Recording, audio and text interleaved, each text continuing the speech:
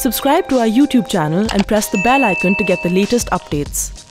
आज कुरुक्षेत्र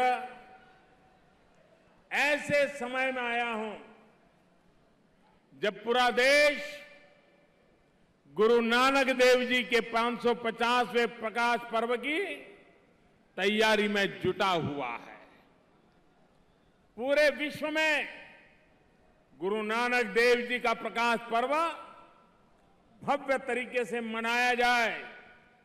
इसके लिए केंद्र सरकार पूरे प्रबंध कर रही है।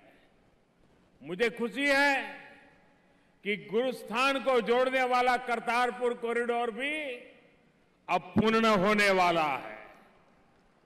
सात दशक पहले जो राजनीतिक और रणनीतिक चूक हुई थी उसको थोड़ा बहुत सुधारने का सौभाग्य हमें मिला है। मुझे उम्मीद है कि इस बार का प्रकाश पर्व चारों तरफ़ खुशियाँ लेकर आएगा।